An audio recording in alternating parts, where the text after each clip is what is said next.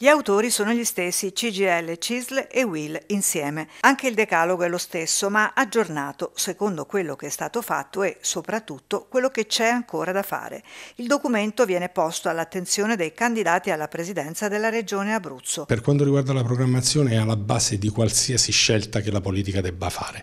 Noi abbiamo sempre lamentato una carenza della politica industriale in questa regione e avevamo creato strumenti come il master plan, la carta di Pescara, il patto per lo sviluppo sviluppo che dovevano servire a questo. Purtroppo questi strumenti sono stati poco utilizzati e poco cantierati. Noi abbiamo riaggiornato questi strumenti, ma li rimettiamo al centro della discussione con tutte le forze politiche e con tutti i candidati. Si deve partire da lì per cercare di dare una politica industriale al nostro Paese. A questo aggiungerei uno strumento nuovo che è nato da poco, ma che è molto importante, la ZES, la zona economica speciale, che potrebbe dare una linea strategica complessiva di eh, riavvio di una politica forte occupazionale e produttiva in una zona importante del nostro Abruzzo, ma che poi si estenda all'interno con il famoso corridoio Tirreno-Adriatico che noi stiamo cercando di sostenere. Noi abbiamo il problema che c'è anche il resto del Paese, cioè come superiamo l'aspetto della precarietà che in questa regione continua a essere un elemento eh, primario.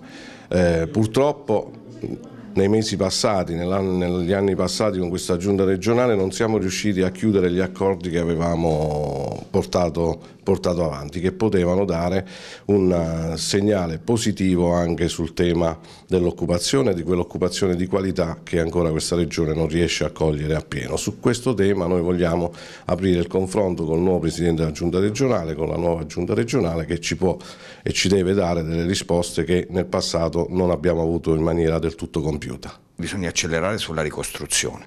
Oltre ai temi del, del lavoro, quindi delle infrastrutture, c'è anche il tema della sanità e sociale che è molto importante. Abbiamo una grave carenza di personale negli ospedali pubblici, pers manca personale sanitario, bisogna procedere alle assunzioni, bisogna riqualificare il nostro sistema sanitario potenziando le strutture eh, territoriali, eh, dobbiamo abbattere le liste di attesa eh, e dobbiamo dare seguito anche a degli accordi che avevamo sottoscritto con il precedente precedente governo ma che non sono andati in porto, mi riferisco ad esempio all'eliminazione del super ticket, così come dobbiamo pensare ad una regione che invecchia e che quindi ha sempre più bisogno di risorse per il sociale, per le fragilità e per la cura del, delle disabilità.